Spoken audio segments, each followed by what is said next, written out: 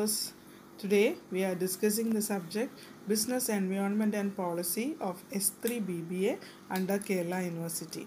And myself, Mary Neto, Assistant Professor from Department of Management, Don Bosco College, Kottayam.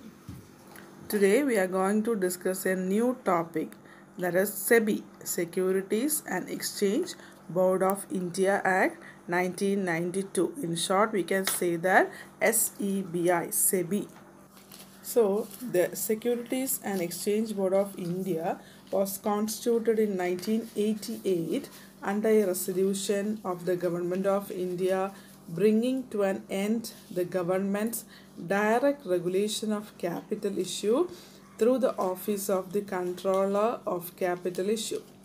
So the SEBI has made its presence felt in the capital market through its various developmental and regulatory measures for ensuring investor protection and the healthy development and regulation of the capital market. So, SEBI was later made a statutory body by the Securities and Exchange Board of India Act 1992. So here we can say is that the short form of SEBI is Securities and Exchange Board of India and the act was amended in 1992. അപ്പോൾ ഇത് SEBI the exchange and board of India അല്ലേ? അതിനെ constitute nineteen eighty എയ്റ്റിലാണ് ആദ്യമായിട്ട് securities and exchange board of India വന്നത്. Under the resolution of the government of India bringing to an end the government's direct regulation to the capital issues അപ്പം ഇവിടെ പറയുന്നത് എന്താണ്? Through the office of control of capital issues എന്നാണ് പറയുന്നത്. അപ്പം nineteen eighty എയ്റ്റിൽ ഒരു government റെസൊല്യൂഷനിലൂടെയാണ് എന്താണ് securities and exchange board of India constitute ചെയ്യുന്നത്. അപ്പം അതുവരെയും ഗവൺമെന്റ് എങ്ങനെയായിരുന്നു? ഒരു ഡയറക്റ്റായിട്ട് ക്യാപിറ്റൽ ഇഷ്യൂ ചെയ്യുമെന്ന് ആരുടെയിലൂടെയാണ് ഒരു കൺട്രോളർ ഓഫ് ക്യാപിറ്റൽ ഇഷ്യൂ എന്ന് പറയുന്ന ഒരു അതോറിറ്റിയിലൂടെ ഗവൺമെന്റ് എന്താണ് ക്യാപിറ്റൽ ഇഷ്യൂസൊക്കെ ഡയറക്റ്റ് ആയിട്ടായിരുന്നു ഡീൽ ചെയ്തിരുന്നത്. എന്നാൽ നയന്റീൻ എയ്റ്റി എയ്റ്റ് മുതൽ എന്താണ് securities and exchange board of India എന്ന് പറയുന്നൊരു ബോർഡ് കോൺസ്റ്റിറ്റ്യൂട്ട് ചെയ്യുകയും അതിലൂടെയാണ് പിന്നെ എന്താണ് ക്യാപിറ്റൽ ഇഷ്യൂസ് എല്ലാം ഗവൺമെന്റ് ഒരു സ്റ്റാറ്റ് അല്ലെങ്കിൽ ഒരു ഓട്ടോണമസ് സ്റ്റാറ്റസ് ആയിട്ടാണ് ആ ബോഡി നിലനിൽക്കുന്നതും അതുവഴിയാണ് ഗവൺമെന്റ് എന്ത് ചെയ്യുന്നത് ക്യാപിറ്റൽ ഇഷ്യൂസൊക്കെ നടത്തുന്നത്. And so the SEBI has made its presence felt in the capital market through various developmental and regulatory measures for ensuring investors protection and healthy development and regulation of capital market ഒരു സെബിയുടെ ഉദ്ദേശം ആ വാക്കിൽ തന്നെ ഉണ്ട് അല്ലേ securities and exchange board of India അപ്പം സെക്യൂരിറ്റീസും അതുപോലെ എക്സ്ചേഞ്ച് അപ്പം ഇൻവെസ്റ്റേഴ്സിന് കാര്യത്തിൽ കൂടുതൽ എന്താണ് അവർ പ്രൊട്ടക്ഷൻ കൊടുക്കുന്നു. അതുപോലെ തന്നെ ഇത് ഹെൽത്തി ഡെവലപ്മെന്റ് ക്യാപിറ്റൽ മാർക്കറ്റിലെ റെഗുലേഷൻസിന് ഒരു ഹെൽത്തി ആയിട്ടൊരു ഡെവലപ്മെന്റ് അതുപോലെ അവിടെ ഇൻവെ സെക്യൂരിറ്റീസിലൊക്കെ ഇൻവെസ്റ്റ് ചെയ്യുകയും പർച്ചേസ് ചെയ്യുന്ന ഇൻവെസ്റ്റേഴ്സൊക്കെ ഉണ്ടെങ്കിൽ അവരെ കൂടുതൽ പ്രൊട്ടക്റ്റ് ചെയ്യുക എന്നതാണ് സെബിയുടെ മെയിൻ ഉദ്ദേശം. And it was later made അതോ it was was made a body by the Securities and Exchange Board of India Act 1922 അങ്ങനെയാണെങ്കിൽ അത് ഒരു സ്റ്റാറ്റ്യൂട്ടറി നിയമപരമായിട്ടൊരു ബോഡി ആയിട്ട് അല്ലെങ്കിൽ ഒരു കോൺസ്റ്റിറ്റ്യൂഷനായിട്ട് മാറുകയും nineteen ninety two ആക്ടിലൂടെയാണ് securities and exchange board of India പ്രവർത്തിക്കുന്നത്. അപ്പം ആ ആക്ട് വഴി ആ ആക്ടിൽ ഉൾപ്പെട്ടിരിക്കുന്ന കാര്യങ്ങളിലൂടെയാണ് എന്താണ് ഒരു securities and exchange board of India പ്രവർത്തിക്കുന്നത്. അപ്പം ഒരു ഇമ്പോർട്ടന്റ് ആയിട്ടുള്ളൊരു ടോപ്പിക്കാണ് സെബി എന്ന് പറയുന്നത്. So clear with the short term next we can see the constitution of the board അപ്പോൾ നമ്മൾ ആദ്യം പറഞ്ഞു അല്ലേ ഒരു സെബി എന്ന് പറയുന്നത് കോൺസ്റ്റിറ്റ്യൂട്ട് ചെയ്തിരിക്കുന്ന ഒരു ബോർഡായിട്ടാണ് എന്ന് പറഞ്ഞാൽ നയന്റീൻ നയന്റി ടു ആക്ട് പ്രകാരം പ്രവർത്തിക്കുന്നത്. അപ്പോൾ കുറച്ച് മെമ്പേഴ്സ് ആ ബോർഡിൽ ഉണ്ടാവണം. ആരൊക്കെയാണ് ഇതിന്റെ കോൺസ്റ്റിറ്റ്യൂഷൻ എന്ന് നോക്കാം. So the SEBI act provides for the establishment of statutory board comprising the following six persons അപ്പോൾ ആറ് പേരടങ്ങുന്ന ഒരു കോൺസ്റ്റിറ്റ്യൂഷൻ ബോർഡാണ് സെബി അപ്പോൾ ആ സെബി പ്രവർത്തിക്കുന്നത് ഒരു ബോഡിയിലാണെങ്കിൽ ഒരു സ്റ്റാറ്റ്യൂട്ടറി ബോഡി ആണെങ്കിൽ അതിൽ ആരൊക്കെയാണ് മെമ്പേഴ്സ് എന്നുള്ളതാണ്. First is chairman. അറിയാലോ ഏതൊരു ബോർഡിനും ഹയർ അതോറിറ്റി ഉണ്ടായിരിക്കണം. അങ്ങനെയാണെങ്കിൽ ഫസ്റ്റ് അതോറിറ്റി എന്ന് പറയുന്നത് ചെയർമാനാണ്. അപ്പോൾ ആറ് പേരിൽ ഒരാൾ ചെയർമാനും അഞ്ച് പേര് അതിന്റെ മെമ്പേഴ്സാണ് അപ്പോൾ ആ മെമ്പേഴ്സിന് നമുക്കിനി എങ്ങനെയൊക്കെ തിരഞ്ഞെടുക്കുന്നു എന്ന് പറയാം. So the two members are appointed by the central government representing the ministries of finance and law അപ്പോൾ ധനകാര്യം ഇല്ലേ? അല്ലെങ്കിൽ ഫിനാൻസ് മിനിസ്ട്രിയും അല്ലെങ്കിൽ സോറി മിനിസ്ട്രി ഓഫ് ഫിനാൻസും ലോയും കൂടെ ചേർന്ന് റെപ്രസെന്റ് ചെയ്യുന്ന സെൻട്രൽ ഗവൺമെന്റ് ആണ് രണ്ട് മെമ്പേഴ്സിനെ അപ്പോയിന്റ് ചെയ്യുന്നത്. അപ്പം ഇവിടെ പറയുന്നത് എന്താണ്? Two members appointed by the central government representing the ministry of finance and അപ്പം മിക്കവാറും ആ രണ്ട് മന്ത്രിമാരായില്ലേ ഫിനാൻസും ലോയും കൈകാര്യം ചെയ്യുന്ന ആരാണോ അവരാണ് രണ്ട് മെമ്പർ സെൻട്രൽ ഗവൺമെന്റ് തീരുമാനപ്രകാരം അവരെയാണ് അതിൽ രണ്ട് മെമ്പറായിട്ട് ആദ്യം അംഗീകരിക്കുന്നത്.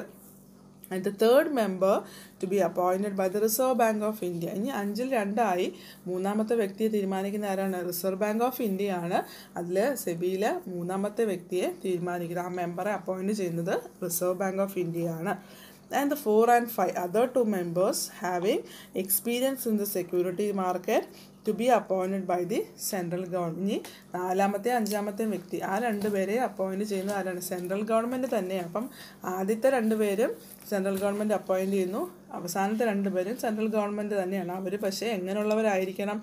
സെക്യൂരിറ്റീസ് ആൻഡ് എക്സ്ചേഞ്ച് മാർക്കറ്റിലെ എക്സ്പീരിയൻസ്ഡ് ആയിട്ടുള്ള വ്യക്തികളെയാണ് സെൻട്രൽ ഗവൺമെന്റ് രണ്ട് വ്യക്തികളെ അപ്പോയിന്റ് ചെയ്യുന്നത്. അങ്ങനെയാണെങ്കിൽ ടോട്ടൽ എത്ര പേരുണ്ട്? ആറ് പേരടങ്ങുന്ന ഒരു ബോഡിയാണ് സ്റ്റാറ്റ്യൂട്ടറി ബോഡിയാണ് സെബി എന്ന് പറയുന്ന ഒരു കോൺസ്റ്റിറ്റ്യൂഷൻ അപ്പോൾ ഒന്ന് ചെയർമാനും കൂടാതെ അഞ്ച് അതർ മെമ്പേഴ്സും അടങ്ങുന്നതാണ് ഈ കോൺസ്റ്റിറ്റ്യൂഷൻ ചെയർമാനോടൊപ്പം രണ്ട് മെമ്പേഴ്സ് ഉണ്ട്. അല്ലെ ആദ്യം അഞ്ച് പേരുള്ളതിൽ രണ്ട് പേര് ആരൊക്കെയാണ്? സെൻട്രൽ ഗവൺമെന്റ് അപ്പോയിന്റ് ചെയ്യുന്ന ministries of law and finance എന്നുള്ള രണ്ട് പേർ പിന്നെ റിസർവ് ബാങ്ക് അപ്പോയിന്റ് ചെയ്യുന്ന ഒരു വ്യക്തി. അതിനുശേഷം സെക്യൂരിറ്റീസ് ആൻഡ് എക്സ്ചേഞ്ച് മാർക്കറ്റിൽ എക്സ്പീരിയൻസ്ഡ് ആയിട്ടുള്ള രണ്ട് പേരെ സെൻട്രൽ ഗവൺമെന്റ് അപ്പോയിന്റ് ചെയ്തു. അങ്ങനെ ആറ് പേരടങ്ങുന്ന ഒരു കോൺസ്റ്റിറ്റ്യൂഷൻ ബോഡിയാണ് സെബി എന്ന് പറയുന്ന stay exchange sorry securities and exchange board of India എന്ന് പറഞ്ഞാൽ ഇവരാണ് ഇതിന്റെ കാര്യങ്ങൾ. അല്ലെങ്കിൽ ഈ സെക്യൂരിറ്റീസും എക്സ്ചേഞ്ച് ഇങ്ങനെയൊക്കെ കേസിൽ വരുമ്പോൾ ഇതിനെ റെഗുലേറ്റ് ചെയ്യുന്നത് നിയന്ത്രിക്കുന്നതെല്ലാം ഇത്രയും വ്യക്തികളായിരിക്കും. So Next, we can see the objectives of SEBI. So, we can say that SEBI is a corporate body and we are given an autonomous status. അല്ലെ ഒരു സെബി എന്ന് പറയുമ്പോൾ ഒരു കോർപ്പറേറ്റ് ബോഡിയാണെന്ന് പറഞ്ഞു അതുകൊണ്ട് autonomous ഓട്ടോണമസ് We അവർക്ക് സ്വയം തീരുമാനങ്ങൾ എടുക്കാനുള്ള സ്വതന്ത്രമായി നിൽക്കുന്ന ഒരു ബോഡിയാണ് അതുകൊണ്ട് തന്നെ autonomous ഓട്ടോണമസ് സ്റ്റാറ്റസ് എന്ന് പറയാം And so the main objectives are that is the basic objectives are to protect the interest of investors in the security. നമ്മൾ ആദ്യമേ പറഞ്ഞു ദ മെയിൻ ഒബ്ജക്റ്റീവ് അതായത് ഒരു സെബി എന്ന് പറയുന്നതിന്റെ മെയിൻ ഒബ്ജക്റ്റീവ് എന്ന് പറഞ്ഞാൽ ഇൻവെസ്റ്റ് സെക്യൂരിറ്റീസിൽ ഇൻവെസ്റ്റ് ചെയ്യുന്ന ആൾക്കാരുണ്ട് ഇൻവെസ്റ്റേഴ്സ് അല്ലേ അവരെ പ്രൊട്ടക്റ്റ് ചെയ്യുക എന്ന്. അതായത് നമുക്ക് ഷെയർ മാർക്കറ്റൊക്കെ എടുക്കുകയാണെങ്കിൽ അറിയാം അല്ലേ? എപ്പോഴും ഇങ്ങനെ ബൂമും ഡിപ്രഷനൊക്കെ വന്നുകൊണ്ടേയിരിക്കും. അപ്പോൾ അതുകൊണ്ട് തന്നെ എന്താണ്? ഈ ഇങ്ങനെയുള്ള ഇൻവെസ്റ്റേഴ്സിനെ അല്ലെങ്കിൽ സെക്യൂരിറ്റീസിൽ ഇൻവെസ്റ്റ് ചെയ്യുന്ന ഇൻവെസ്റ്റേഴ്സിനെ പ്രൊട്ടക്റ്റ് ചെയ്യുക. അതാണ് ഒരു സെബിയുടെ മെയിൻ ഒബ്ജക്റ്റീവ് എന്ന് പറയുന്നത്. And second is to promote the development of to regulate the securities market രണ്ടാമത് നമ്മുടെ ഈ സെക്യൂരിറ്റി മാർക്കറ്റ് നിയന്ത്രിക്കുക അതിനെ ഡെവലപ്പ് ചെയ്യുക നമ്മുടെ രാജ്യത്തിന്റെ വളർച്ചയും കൂടെയാണ്. അതുകൊണ്ട് തന്നെ അതിനെ ഒരു ഡെവലപ്മെന്റിൽ എത്തിക്കുക അതിനെ ഒന്ന് റെഗുലേറ്റ് ചെയ്യുക. അപ്പോൾ സെക്യൂരിറ്റി മാർക്കറ്റിനെ പ്രൊമോട്ട് ചെയ്യുക ഡെവലപ്പ് ചെയ്യുക. ഇതാണ്. ഇപ്പോൾ ഈ രണ്ട് ഒബ്ജക്റ്റീവ്സ് ആണ് കൂടുതലായിട്ട് ആർക്കുള്ളത്? സെബി എന്ന് പറയുന്ന സെക്യൂരിറ്റീസ് എക്സ്ചേഞ്ച് ബോർഡ് ഓഫ് ഇന്ത്യക്കുള്ളത് So again we can say is that the objectives eh, there are two objectives of SEBI and we can say SEBI is a corporate body and has been given an autonomous status. The basic objective of SEBI is to protect the interest of investors in securities and the second is to promote the development of and to regulate the securities market. So these are the main objectives of Securities and Exchange Board of India. Clear with the point? So we can sum up the today's topic. So we discuss the SEBI. That means that Securities Exchange Board of India was constituted in 1988 under the resolution of the Government of India, bringing to an end the government's direct regulation of capital issue through the Office of the Control of Capital Issue. And we can say is that we may be a statutory body by the Securities and Exchange Board of India Act 1992. And so the SEBI has made its presence felt in the capital market through its various developmental and regulatory measures for ensuring investor protection and healthy development and regulation of capital market. Next, we discuss the constitution of the board. So, here also we can say is that there are six members or a six person in the statutory body. That is chairman and the five members. And the first two members are appointed by the central government representing the ministry of finance and law. And the third member to be appointed by the reserve bank of india. And the last two person having experience in the securities market to be appointed by the central and state sorry appointed by the central government. So these are the six members or a six person regulating the statutory body or in the sebi. And also we can say is that it is a corporate body and given an autonomous status. And the main objective of the sebis are to promote or to protect the interest of investors in security and the second is to promote the development of and to regulate the security market. So this is the end of today's section. I hope you all understood the sebi that is it is an important one. And so prepare well study well. Thank you